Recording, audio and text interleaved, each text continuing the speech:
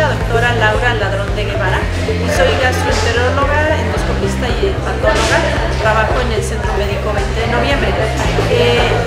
el foco de, mi plática en esta ocasión ha sido las complicaciones cardiovasculares asociadas a la enfermedad grasa del hígado, porque la, las, eh, las enfermedades cardiovasculares son el primer lugar de muerte en nuestro país y, y las enfermedades crónicas del hígado son el cuarto lugar entre ellas y es por eso la importancia de este tema en el año, en, esta, en este, en esta eh, evento de la concientización del hígado graso. Pero también puede sufrir un daño de todo esto